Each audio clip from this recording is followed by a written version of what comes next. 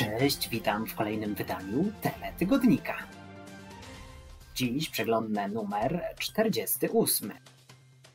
Czas rzucić okiem na dzisiejszą okładkę. Na dzisiejszej okładce Marzena Rogalska. Z prowadzącą program rozmawiamy o jej najnowszej książce Sile kobiecej przyjaźni i trudnej sztuce pożegnaj. A także wielkie finały programów Masterchef, Rolnik szuka żony i The Voice of Poland. Pieniądze, sława, kontrakty, a nawet prawdziwa miłość. O, to walczą uczestnicy show, a także barwy szczęścia, dramat na Sycylii, czy Kasia Górka przeżyje trzęsienie ziemi, a także skoki narciarskie, zawody Puchar Świata w Wiśle, czas na magiczny weekend, emocje na skoczni plus urodziny Adama Małysza, a także Zniewolona, co wiemy o nowym sezonie hitu z Ukrainy. Tak wygląda dzisiejsza okładka, teraz czas rzucić okiem co w środku. Na początek gwiazdy ciekawostki wydarzenia i Mikołajki w Polsacie. Każdy może pomóc. 6 grudnia, jak co roku, na antenie Polsatu zobaczymy charytatywny blok reklamowy, a wieczorem odbędzie się też wyjątkowy koncert. Poniedziałek o godzinie 18.45, czyli tuż przed wydarzeniami, pojawi się 10-minutowy mikołajkowy blok reklamowy. To tradycja stacji Polsat, która w ciągu 17 minionych edycji zebrała ponad 22 miliony złotych. Wszystkie środki są przekazywane na leczenie i rehabilitację chorych dzieci podopiecznych Fundacji Polsat. W tym roku fundacja świętuje jubileusz 25-lecia powstania. Z tej okazji zobaczymy koncert. Fundacja Polsat 25 lat. Jesteśmy dla dzieci. Na scenie wystąpią same gwiazdy. Śpiewają m.in. Kaja, Wiki Gabor, Alicja Majewska, Małgorzata Walewska, Paweł Domagała, Dawid Kwiatkowski, Andrzej Piaseczny, Michał Bajor czy Arka Noego. W koncercie weźmie udział też obdarzona pięknym głosem Karolinka, podopieczna Fundacji Polsat w towarzystwie chóru Sound and Grace. W rolach konferencjerów wystąpią Krzysztof Ibisz i Adam Zdrójkowski. Start o godzinie 20. A teraz czas na zapowiedź nowego serialu. 25-latek Max zakochuje się w samotnej matce trójki dzieci, która mieszka pod jednym dachem z byłą teściową. Trudno o większy galimatias, ale tak właśnie zaczyna się nowy serial Polsatu Rodzina na Maxa. W głównej roli wystąpi Nikodem Rozbicki, a towarzyszyć mu będą na planie Anna Smołowik oraz Ewa Kasprzyk. Teraz czas na The Voice Senior 3. Gwiazdorskie jury. Zbliża się wielkimi krokami trzecia edycja muzycznego show, w którym uczestnicy 60 plus powalczą o tytuł najlepszego głosu w Polsce oraz o 50 tysięcy złotych. W fotelach trenerskich ponownie zasiądą Alicja Majewska oraz Witold Paszcz. Do tego zacnego grona dołączy królowa polskiej estrady Maryla Rodowicz oraz Piotr Cugowski, którego mogliśmy oglądać w tej roli w dziewiątej edycji The Voice of Poland. Pierwszy odcinek zobaczymy 1 stycznia w telewizyjnej dwójce tuż po godzinie 20. Program potrwa przez kolejnych 6 tygodni i ponownie poprowadzą go Marta Manowska oraz Rafał Brzozowski. Czas teraz na hity seriale i wśród tygodniowych propozycji nowości Miłość i Przeznaczenie.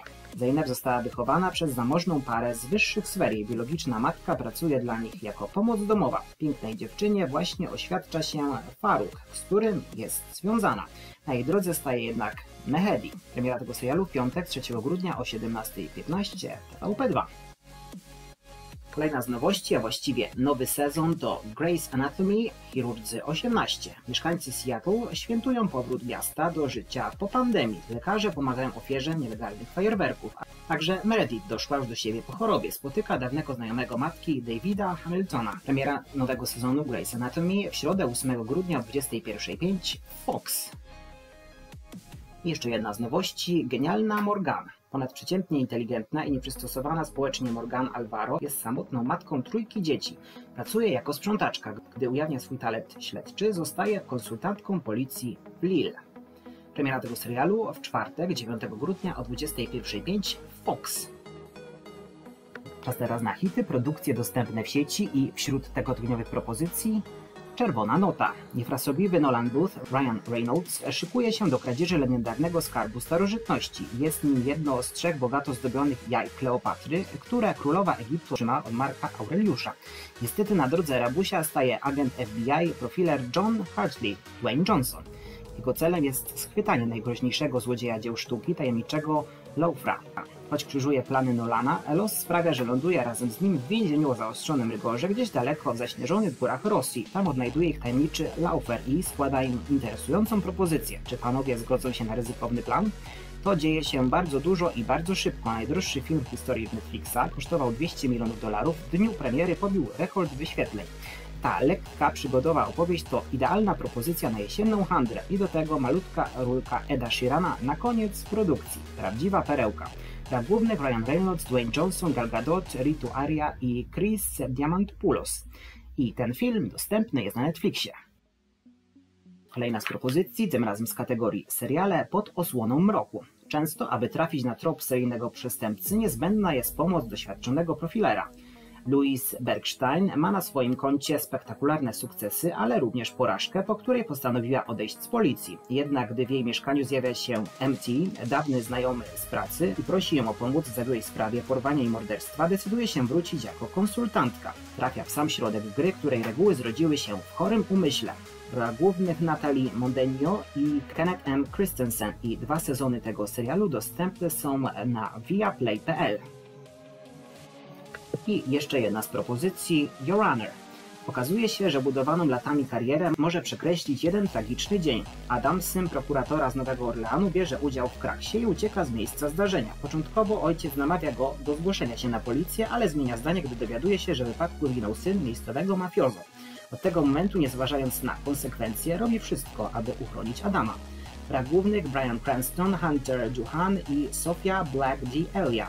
I cały sezon tego serialu dostępny jest na player.pl. W ramach produkcji dostępnych sieci po raz kolejny będę przeglądał magazyn Netfilm. W tym tygodniu kolejne premiery Dom z papieru 5B. Czas na wielki finał. Pierwsza część ostatniego sezonu zakończyła się mocnym akcentem może nawet była to najmocniejsza scena w całym serialu. Nie zmienia to faktu, że gang nadal jest w potrzasków. Wszyscy zginą, czy znów uda im się przechytrzyć władzę? To pytanie zadaje sobie teraz każdy fan serialu. Odpowiedź poznamy już wkrótce. Członkowie gangu od ponad 100 godzin zamknięci są w Banku Hiszpanii, a pętla wokół nich się zaciska. To już nie jest przepychanka z policją, ale wojna, w której nikt nie bierze jeńców, a trup ściele się gęsto. Problem wyniesienia przetopionego złota, bagatela 90 ton, wydaje się być sprawą drugorzędną, gdy stawką jest życie. Czy teraz, gdy sytuacja stała się beznadziejna, złodzieje będą w stanie się dogadać i wspólnie działać? Jaki plan ma profesor, który wciąż nie ma kontaktu ze swoimi ludźmi, ale na pewno wkrótce wkroczy do akcji? Kto wie, czy nie z nowym sojusznikiem? Nie zapominajmy też o synu Berlina. Nie bez powodu Rafael pojawił się w retrospekcjach. On też odegra jakąś rolę w tej rozgrywce, może nawet kluczową. Chcemy zakończyć serię w stylu, jakim sobie to wyobrażają, jakim marzą fani zapowiada Alex Rodrigo, jeden z reżyserów. Trzymamy za słowo. W głównych Alvaro Morte, Miguel Heran, Miavi Nimri, Istiar Itunio i Hovik Kejczekeria. I druga część piątego sezonu dostępna będzie od 3 grudnia na Netflixie.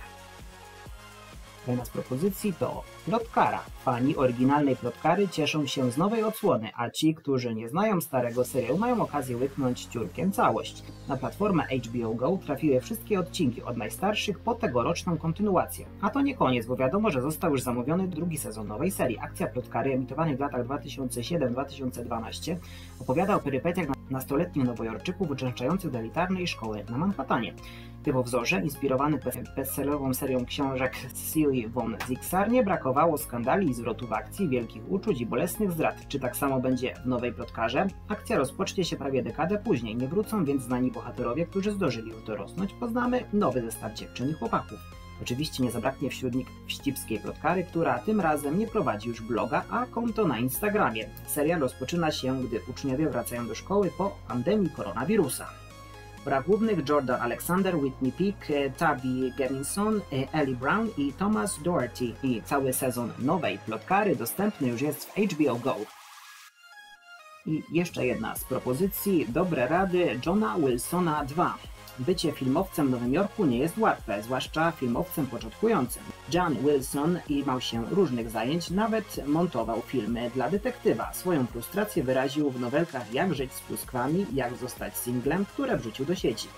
Jego twórczość przyciągnęła uwagę producenta Nathana Fiedlera. Panowie rozpoczęli współpracę, a HBO zgodziło się na realizację dość dziwnego pomysłu. Tak powstał serial Dobre Rady Jana Wilsona, e, który jest jednocześnie o wszystkim i o niczym. Tytuł cyklu pochodzi od tego, że punktem wyjścia każdego odcinka jest jakaś rada, na przykład jak uprawiać small talk. Jan zaczepia ludzi i pyta o ich opinię. Wynikają z tego różne dziwne rzeczy, rozmowa o smotoku prowadzi do bazy łowcy pedofilu.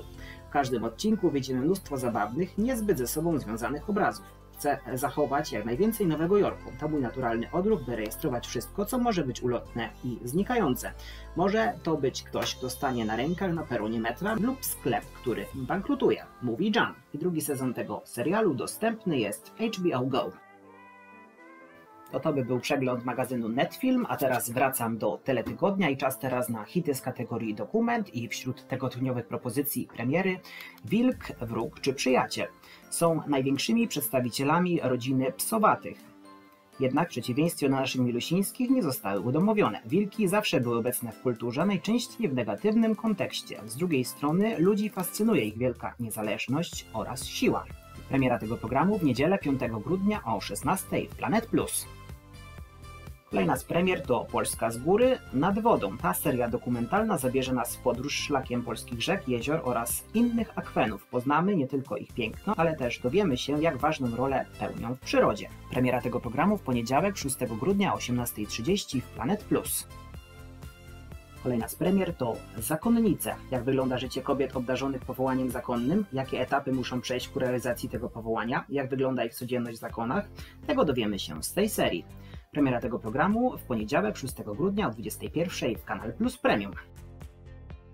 Kolejna z premier to Art B Made in Poland. Serial dokumentalny ujawnia kulisy pierwszej wielkiej afery finansowej III RP Art B. Jej założyciele Andrzej Gąsiorowski i Bogusław Baksik opowiedzą o początkach swojego biznesu. Premiera tego programu w środę 8 grudnia o 22 na Discovery Historia. Kolejna z premier to Z miłości do chleba. Zakwas do wypieku pieczywa wynaleziono w Egipcie około 2000 lat przed naszą erą. Piekarz Andrew Cannell wyruszy w kulinarną podróż, aby skosztować chleba z różnych stron świata. Premiera tego programu w sobotę 4 grudnia o 17.30 w Kanal Plus Kuchnia. Kolejna z premier to Tłuszcz to zdrowie? Autorzy dokumentu mierzą się z mitami na temat odżywiania i przyczyn otyłości. Starają się ustalić, czy tłuszcz w naszej diecie faktycznie jest bardzo szkodliwy i powoduje nadwagę. Premiera tego programu w niedzielę 5 grudnia o 22 Planet Plus. Kolejna z premier to niezwykłe wynalazki. Bohaterem odcinka będzie silnik odrzutowy. Pierwszy opracował w latach 30. XX wieku Frank Whittle, natomiast Hans von Oheim skonstruował silnik, dzięki któremu powstał pierwszy odrzutowiec. Premiera tego programu w środę 8 grudnia o 22 na National Geographic. Kolejna z premier to Kiedy Filip poznał Missy. Śledczy badają sprawę zaginięcia Roberty. Kobieta zniknęła podczas wycieczki do Gracelandu. Podejrzenia padają na jej 72-letniego męża, ale czy to właściwy trop? Premiera tego programu w niedzielę 5 grudnia o 21 w ID. I jeszcze jedna z premier, nie ziemskie tajemnice. Czy legendarna królowa Celtów o imieniu Budika naprawdę istniała? Skąd pochodzą kręgi na hiszpańskiej Malcie i co znaczą symbole w górach Peru, wyjaśni to archeolog Mark Horton. Premiera tego programu we wtorek, 7 grudnia o 15.30 w Focus TV. Czas teraz na hity filmowe i wśród tygodniowych propozycji premiery w TV listy do M4. Kolejna odsłona świątecznych perypetii barwnych postaci. Państwo lisieccy, a także pozostali bohaterowie próbują podczas Wigilii przezwyciężyć rozmaite trudności. Dla głównych Tomasz Karolak, Magdalena Boczarska i Agnieszka Dygant. I premiera tego filmu w sobotę 4 grudnia o 21 w Kanal Plus Premium. Druga z premier to Krwawe porachunki. Richard Dreyfuss, e, laureat Oscara za kreację w filmie Dziewczyna na pożegnanie, wciela się byłego szefa mafii. Gdy jego dom staje się celem włamywaczy, pragnie się zemścić. Śledztwo prowadzi jego córka, funkcjonariuszka policji. Premiera tego filmu w środę 8 grudnia o 20 TV Puls. W ramach hitów filmowych po raz kolejny, podobnie jak w zeszłym tygodniu, przyglądam się również filmom świątecznym, tak więc czy to już święta? To już święta? Jeszcze nie, poza cztery tygodnie, ale w TV to już prawie święta. Dziewczyna znajdzie chłopaka pod choinką, wybierze się z nim na randkę, zwieńczoną pocałunkiem i para spędzi razem czułe święta. Poza tym Panda Po i Shrek przeżyją świąteczne przygody, a Alex zostanie sam w domu. Inni po raz czwarty napiszą listy do Mikołaja, znaczy się do M i miejmy nadzieję, że tym razem Mikołaj nie będzie śnięty i na nie odpowie z pomocą córki. Koniec będą jeszcze cztery gwiazdki zakończone niezapomnianym prezentem w postaci wesela, a grupa obcych sobie osób spędzi Sylwestra w Nowym Jorku. Czas teraz na hity sport i temat z okładki skoki narciarskie Puchar Świata w Wiśle. Dać im rozwinąć skrzydła. To ma być magiczny weekend na skoczni imienia Adama Małysza. To może nie jest ulubiony obiekt biało-czerwonych orłów, jednak często lądują tutaj na podium zawodów Pucharu Świata. Pandemiczny widok pustych trybun to już na szczęście tylko ponura przeszłość. Od pierwszych zawodów w Niżnym Tagile zawodnicy walczący o kryształową kulę czują doping fantastycznych kibiców. Teraz biało-czerwoni fani będą dmuchać pod narty polskim orłom podczas zawodów w Wiśle. Na gorącą i wyjątkowo głośną pomoc liczą Kamil Stoch i cała nasza lotnicza spółka. Dzisiaj już nikt nie wspomina fatalnego weekendu w Rosji, tym bardziej, że nasi skoczkowie przeprosili za swoje bardzo średnie skoki. Puchar świata nabiera rozpędu i trzeba myśleć o przyszłości. Nawet jeśli są pewne elementy, które trzeba dopracować, to właśnie skocznia imienia Adama Małysza jest idealnym miejscem na wprowadzenie korekt. Teraz nikt nie może czuć się wycofanym, trzeba walczyć o każdy metr, a że nasi to potrafią, pokazywał m.in. Stoch, który wygrał kwalifikację do pierwszego konkursu w sezonie. Wisła to może nie jest ulubiony obiekt dla wszystkich zawodników Michała Doleżala, ale jest to taka skocznia, na której Polacy potrafili lądować na podium. Rok temu po walce zajęliśmy trzecie miejsce w drużynówce, podobnie jak w 2019 roku. Co ważne, daleko i równo skakała cała czwórka. Piotr Żyła, Klemens Burańka, Dawid Kubacki i Kamil Stoch. Co prawda następnego dnia nikt z naszych nie doleciał do finałowej trójki, jednak teraz ma być lepiej. Nie ma mowy o przetrenowaniu, raczej wszystko zależy od głowy. Poza tym Halvor Egner Granerud wcale nie wydaje się taki niepokonany. Trzeba tutaj usiąść na belkę startową i rozwinąć skrzydła na maksa. Transmisja z Pucharu Świata w Wiśle w sobotę 4 grudnia o 16.05 i w niedzielę 5 grudnia o 15.55 w TVP1. Czas teraz na piątek i premierę w TV Miłość i Przeznaczenie. Razem silniejsi?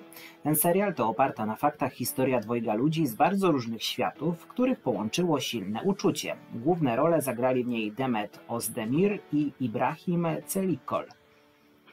Po zakończeniu emisji Promyka Nadziei na fanów tureckich seriali czeka kolejny przebój z nadbosforu, miłość i przeznaczenie. Główna bohaterka na pewno przypadnie widzom do gustu. Jest nią piękna brunetka Zeynep Demet Ozdemir, która pomimo młodego wieku niejedno już w życiu przeszła. Urodziła się w ubogiej dzielnicy, a kiedy miała 7 lat, ojciec podjął trudną decyzję o oddaniu jej na wychowanie przedstawicielom wyższych sfer Nermin Sernankara i Ekremowi Nazil Kirmizgul. Pociechą dla dziewczynki od samego początku jest to, że jej mama, Sakine Zuhaldence, pracuje tam jako pomoc domowa. Jednak poza nią przyjaciele, przyjaciele Nemir i Ekrema uważają, że jest ich rodzoną córką. Nic dziwnego, że o rękę Zeynep pewnego dnia zacznie ubiegać się przedstawiciel klasy wyższej, zamożny i wpływowy Faruch Egin Hepileri. Dziewczyna pewnie zostałaby jego żoną, gdyby właśnie wtedy w oko nie wpadł jej Mehdi Ibrahim Celikol chłopak ze slumsów, ale o złotym sercu. Wkrótce okazuje się, że te dwie zranione dusze były sobie przeznaczone od chwil narodzin, przekonuje odtwórczyni głównej roli Desmet Ozdemir. Serial powstał na motywach powieści Candaki Kiss, Dziewczyna za szybą, autorstwa popularnej w Turcji pisarki, prezenterki TV i doktor psychiatrii Ulseren Budiacoglu. Doczekał się dwóch sezonów i 138 emocjonujących odcinków z mocnym życiowym przesłaniem. Premiera tego serialu w piątek 3 grudnia o 17.15 w TVP2. Czas na sobotę i kolejną z premier oparte na faktach. Koszmarna pomyłka. W tym cyklu poznamy losy z pozoru zwykłych ludzi, którzy w trudnych życiowych sytuacjach wykazali się niezwykłym hartem ducha. Dziś wieczorem dowiemy się, jak wyglądała historia Gary'ego Conlona, niesłusznie skazanego za zamach bombowy w angielskim Guildford w 1974 roku. Jego losy stały się kanwą kultowego filmu W imię Ojca. Premiera tego programu w sobotę 4 grudnia o 22 w Planet Plus. Teraz czas na The Voice of Poland finał. Ależ emocje. Ostateczna rozgrywka podzielona będzie na trzy rundy. Pierwszej każdy finalista zaśpiewa utwór zagraniczny oraz wystąpi w duecie ze swoim trenerem. Po głosowaniu widzów już tylko troje szczęśliwców zmierzy się z polskim repertuarem, a po kolejnej weryfikacji dwoje z nich zawalczy o realizację swoich muzycznych marzeń i nagrodę pieniężną. Finał The Voice of Poland w sobotę 4 grudnia o 20 w TVP2. Kolejna z premier to ABC gotowania słodkości na Boże Narodzenie. Marieta Marecka zdradzi nam jak przygotować słodkości na świąteczny stół. Poznamy m.in. przepisy na tort makowy z pomarańczami oraz pyszny deser piernikowy. Premiera tego programu w sobotę 4 grudnia o 15.30 w Kanal Plus Kuchnia. Czas teraz na niedzielę i kolejny finał, tym razem programu Masterchef w sercu Hiszpanii. Czwórka najlepszych uczestników show powalczy dziś wieczorem o wygraną, a wszystko to w centrum pięknego hiszpańskiego regionu La Rioja. Finaliści będą musieli przygotować trzy popisowe potrawy z chorizo, czerwonej papryki i sera owczego. Tylko dwie osoby przejdą do ścisłego finału, w którym zaprezentują swoje menu degustacyjne jurorom. Najlepszy sięgnie po fartuch mistrza i wyda książkę. A co słychać u zwycięzców poprzednich edycji? Niżej przedstawiamy kilka faktów na temat ich dalszych losów. I tak kolejne edycje wygrywali Basia Ritz, Dominika Wójciak, Damian Kordas, Mateusz Zielonka, Olan Guyen czy Ola Juszkiewicz. A finał dziesiątej edycji programu Masterchef w niedzielę 5 grudnia o 25 w TVN. Kolejna z premier to budowa na końcu świata. Czy można być szczęśliwym mieszkając w domku z bambusa? Oczywiście. Przekona się o tym projektant takich budowli, który wreszcie znalazł czas na to, żeby wznieść chatkę dla siebie. W jego bambusowym królestwie będzie luksusowy basen i wspaniała sypialnia pod gwiazdami. Premiera tego programu w niedzielę 5 grudnia o 15 na Discovery Channel. Kolejna z premier to Moje wymarzone miejsce 2. Architekt Maciej Rempalski przez klientów jest nazywany czarodziejem. W drugim sezonie cyklu odwiedzi ludzi, którzy potrzebują pomocy kogoś takiego jak on. Zaprojektuje im domy na weekendy i wakacje, w których poczują się naprawdę dobrze. Premiera tego programu w niedzielę 5 grudnia o 17 w Kanal Plus Domo. Kolejna z premier to Poza cywilizacją. Poszukiwacze przygód Brett Rogers i Cliff Quinn wiedzą, że ich domem w najbliższym czasie będzie dzika przyroda. Razem wyruszą do Yukonu, żeby tam zakosztować cudów życia kanadyjskich drwali z przełomu XIX i XX wieku. Surowe warunki nie są im straszne. Premiera tego programu, a w niedzielę 5 grudnia o 17 w Focus TV. I kolejny z finałów, tym razem programu Rolnik szuka żony. Czas na decyzję. Przystojny Stanisław nie poczuł chemii z żadną z poznanych dziewczyn, ale inni rolnicy i rolniczki zdecydowali się na pobyt w domach swoich wybranków. Zaiskrzyło zwłaszcza między Krzysztofem i Bogusią oraz Kamilem i Joanną. Byłoby więc dziwne, gdyby po poważnych deklaracjach drogi świeżo upieczonych par się rozeszły. Wybranka Krzysztofa Bogusia powiedziała przecież za pół roku ślub. Mniej pewni byli Elżbieta i Marek oraz Kamila i Adam. Pozory mogą jednak mylić i tak naprawdę dopiero w dzisiejszym odcinku dowiemy się, kogo strzała Amora ugodziła na dobre. Przed finałem uczestnicy programu mieli dwa miesiące, żeby bez obecności kamer przekonać się o trwałości swoich uczuć. Teraz Marta Manowska ich zapyta, to prawdziwa miłość, czy czas się rozstać? Finał programu Rolnik szuka żony w niedzielę 5 grudnia o 21.25 w TVP1. Czas teraz na kolejną nowość w TV. Bogate dzieciaki bez kasy. Wyprowadzka z raju. Jak to jest mieć wszystko i nagle to stracić? Na własnej skórze odczują to uczestnicy polskiej edycji brytyjskiego reality show Bogate dzieciaki bez kasy. Ze strefy komfortu, w której rodzice finansowali ich wszelkie zachcianki, zostaną rzuceni na głęboką wodę. Trafią do rodzin, które doskonale wiedzą, czym jest niedostatek. Będzie to wiązało się z nauką, jak zmniejszyć swoje oczekiwania, oszczędnie wydawać pieniądze i wypełniać codzienne obowiązki. Premiera tego programu w niedzielę 5 grudnia o 21 w Polsat Cafe. Teraz czas na poniedziałek i koncert Skrzydła Umysłu. Koncert z okazji szczytu cyfryzacji ONZ IGF 2021 w Polsce. Wieczór z muzyką. Tę wielką muzyczną imprezę zorganizowaną na scenie w Katowicach przygotowano z okazji odbywającej się w tym roku w Polsce konferencji ONZ. Jest ona poświęcona tematyce cyfrowej. Na scenie wystąpił m.in. Richard Bona, Natalia Kukulska, Sebastian Karpiel-Bułecka z zespołem, Piotr Cugowski, Stanisław Sojka i Katarzyna Moś. Dziś możemy obejrzeć jeszcze dwa inne widowiska. Dwójka zaprasza o 21.40 na koncert mikołajkowy Gwiazdy Dzieciom, a Polsa do 20 na wydarzenie Fundacja Polsa 25 lat Jesteśmy dla dzieci, a koncert Skrzydła Umysłu do obejrzenia w poniedziałek 6 grudnia o 21 w TVP1. Czas na środę i kolejną premierę w TV Tajemnice podwodnych wraków. Poznamy historię nieudanych inwazji w dziejach wojen morskich. Jedna z nich miała miejsce w XVI wieku, a druga w czasie I wojny światowej. Premiera tego programu w środę 8 grudnia o 21 na National Geographic.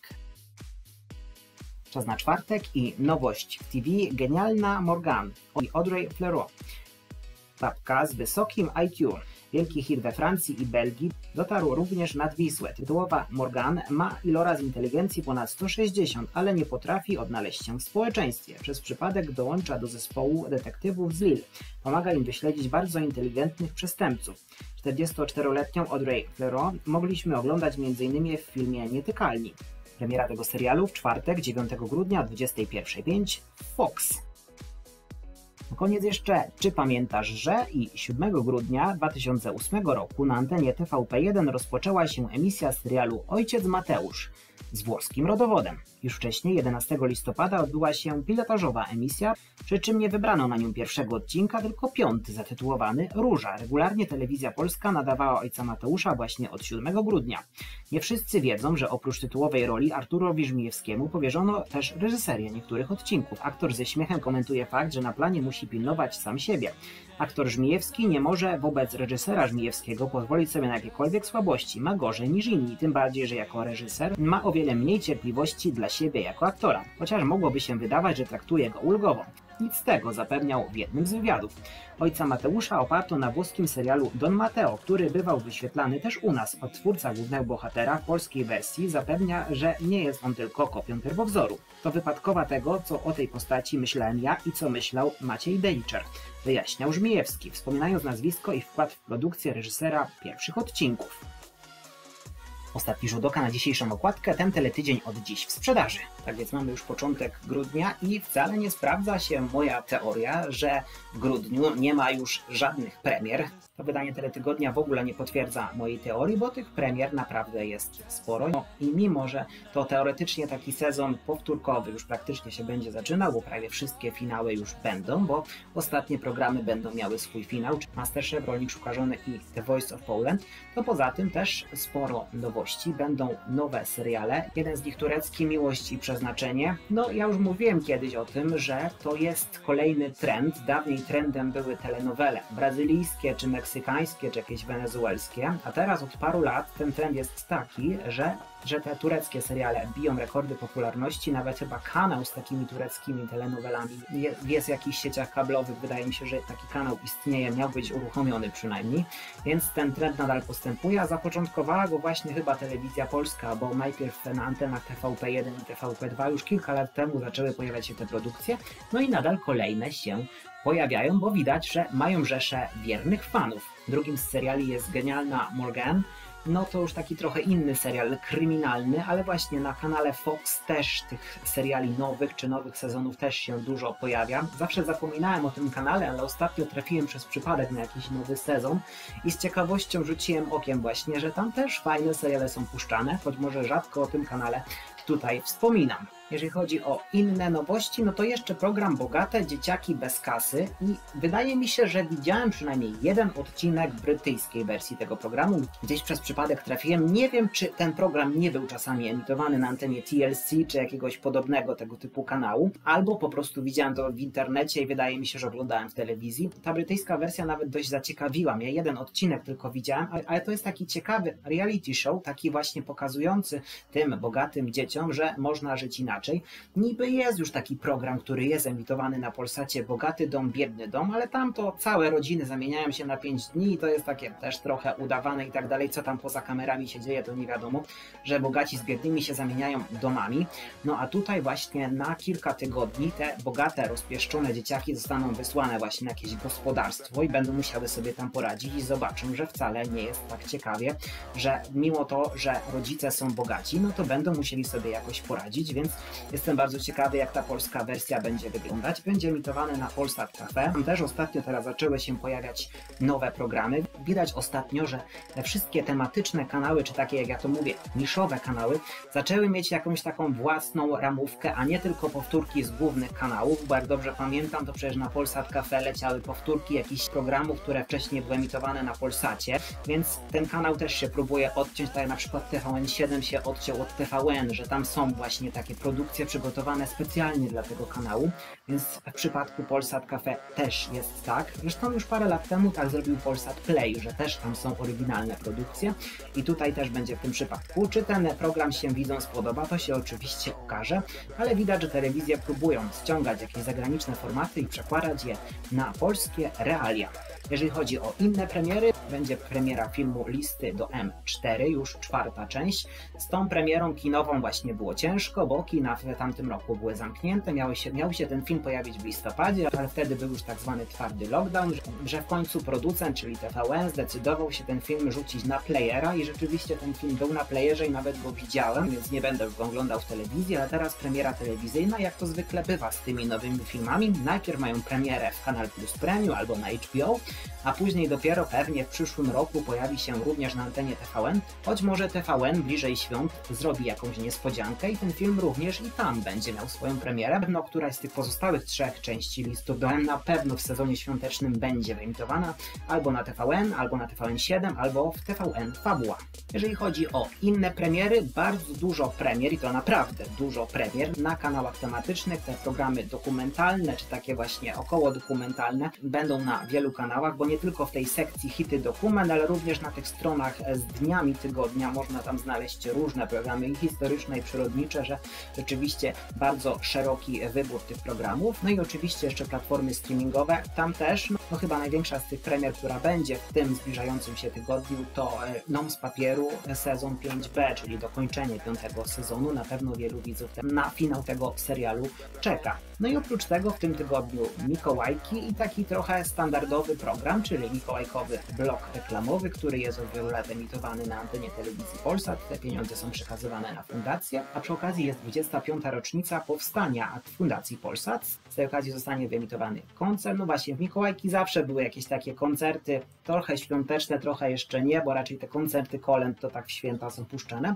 A tutaj taka trochę namiastka. No właśnie, Mikołajki zawsze są teraz ostatnio jakieś koncerty, czy jakieś inne wydarzenia, a poza tym też kilka świątecznych filmów będzie, bo kontynuuje tą statystykę, więc kolejnych 16 nowych tytułów w tym tygodniu się pojawi. Widać, że święta już coraz bliżej, ale zresztą widać, że od wielu lat ten sezon świąteczny nie zaczyna się już w Mikołajki, tylko zaczyna się trochę wcześniej, bo już pod koniec listopada, tak więc i w tamtym tygodniu były już świąteczne filmy, a pewnie teraz z każdym tygodniem będzie tych propozycji więcej i jestem bardzo ciekawy, ile na koniec, czyli tuż przed świętami, będzie w sumie wyemitowanych tych filmów. Czy będzie ich więcej niż w zeszłym roku? To oczywiście okaże.